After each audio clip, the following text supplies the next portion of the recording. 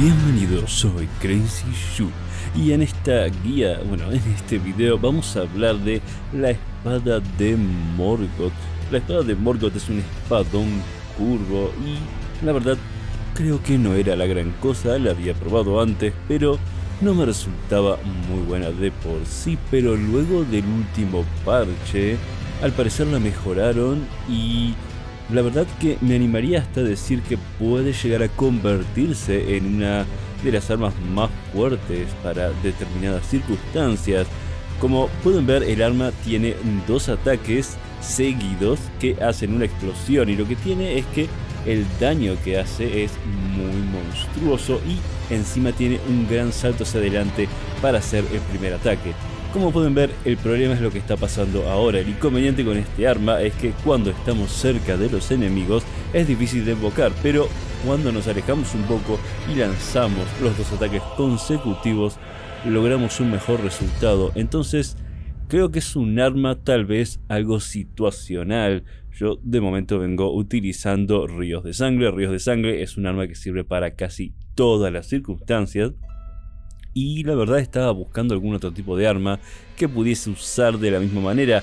Este arma no aplica exactamente de la misma forma, pero creo que con el estilo indicado puede llegar a ser muy, pero muy OP. Por supuesto, consume muchísimo mana. Esta consume bastante más mana, por lo menos a mi parecer, que lo que consume el Ríos de Sangre. Pero el tema es que este arma produce un estilo que es bastante poderoso, por lo tanto podemos atacar a grupos de enemigos y dejarlos aturdidos por más tiempo, inclusive enemigos más grandes. Y también tiene una muy buena área de efecto porque en sí tenemos el golpe principal y el golpe secundario. Como pueden ver, me estoy lanzando desde lejos a golpear al gigante. Y la verdad es que ese aturdimiento que produce no solamente tira a los enemigos que tengo alrededor y que están molestando, sino que también tira a los enemigos grandes como el gigante. Creo que ahora este arma está en un mucho mejor estado y realmente creo que se podría jugar toda la partida con este arma, con la espada curva de Morgoth. La he comparado con Ríos de Sangre y la verdad cuando me pongo a ver en sí a la par los resultados es bastante, bastante similar a términos de lo que puedo lograr o a términos del, del, daño que puedo hacer.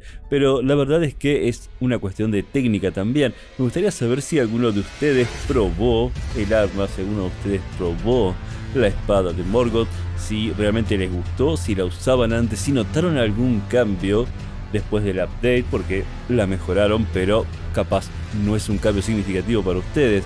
Acá estoy usando el arma que siempre uso, el arma para newbies, como le dicen.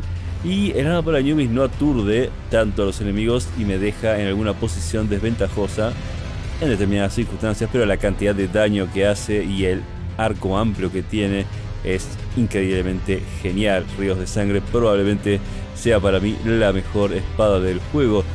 Sin embargo, la verdad voy a empezar a prestarle atención a la espada de Morgoth porque creo que la voy a empezar a utilizar en algunas circunstancias porque parece ser bastante bastante efectiva para lidiar contra determinados enemigos y ahora creo que sí es un arma digna de un semidios y un arma OP. Pero déjenme escrito en los comentarios qué es lo que piensan ustedes de esta espada, si les gusta, si no les gusta, si lo usaban, si no la usaban. Y como siempre les digo, damas y caballeros, consideren suscribirse si el contenido es de su agrado. Voy a seguir sacando ingentes cantidades de contenido de Elden Ring sobre absolutamente todo. Y también recuerden que está el link de la página de Patreon, que es la única forma en la cual puedo seguir manteniendo el canal porque es el único lugar del que puedo llegar a obtener algún tipo de aporte de momento. Así que chequenlo si pueden, les agradecería muchísimo. De momento muchachos paso a retirarme, les dejo un par de videos y nos veremos la próxima.